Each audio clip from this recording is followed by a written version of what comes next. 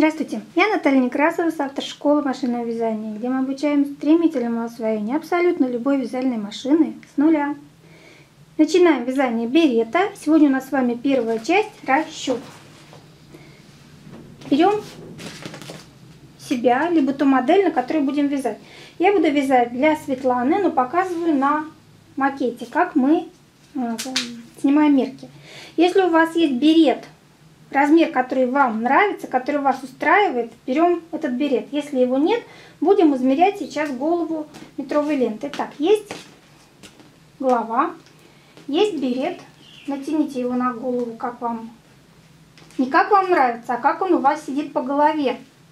И измеряйте берет от края через макушку до края. Светлана э, имеет размер головы 56 у нее размер берета 48 сантиметров. То есть через макушку, от уха до уха и чуть-чуть небольшой припуск. Все-таки это берет, а не шапочка в обтяжку. Поэтому на, 40, э, на 56 размер 48 сантиметров это э, общая длина полотна.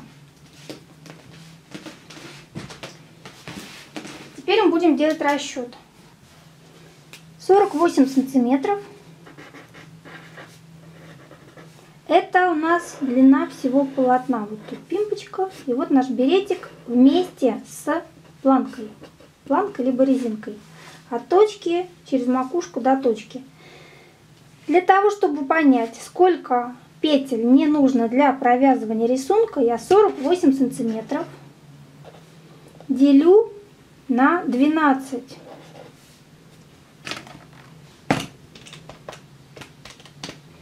Получается 4 сантиметра. То есть 4 сантиметра это размер полотна. И теперь мне нужна петельная проба. Проба, в принципе, меня волнует только петли.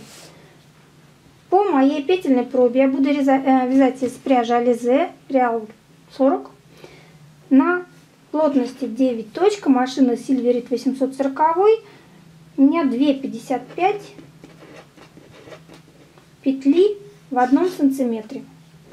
4 сантиметра я умножаю на 2,55, получаю 10,2. 10 петель. Учитывая, что полотно тянется, 10 петель нормально. Второй способ, если у вас получается 4, не 4 сантиметра, а какое-то э, совершенно нелепое число. Значит, мы 48 умножаем на петельную пробу. Это второй способ, если вам вы не выходите на более-менее при, приличное количество сантиметров ровное. 48 умножаем на 2,55 и делим на 12. Получаю, в принципе, то же самое. То есть вы можете через сантиметры, можете через петли, как вам нравится, если, вы, э, если вам так удобно. 10 и 2. Округляем до целого, потому что мы не можем взять э, там 10 с половиной петель. У нас есть количество игл, оно четкое. 11, 12, 9, неважно. Вот сколько получили, столько игл у нас будет представлять собой узор. Поэтому запоминаем, что у меня узор полотна 10 петель. Все, выяснили. И теперь ориентируюсь на вот эти 10 петель, я буду провязывать весь берет. Это единственная мерка, которая нам нужна по итогу. Поэтому задача первой части выяснить количество петель нашего узора, подобрать пряжу, подобрать плотность, ну, вернее, в такой последовательности подобрать пряжу, подобрать плотность и найти количество петель узора. Напоминаю, что я буду вязать в цветах бактуса кубик. У меня есть уже те, цвет, те цвета. Я буду использовать то же самое. Желтый, рыжий и серый.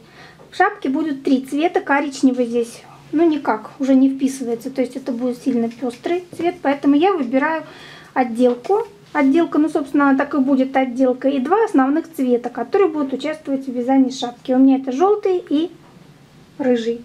И разделитель серенький. Вот такие три цвета я буду использовать. Вы подбираете те цвета, которые вам нужны. Еще раз напоминаю, нужны два основных цвета.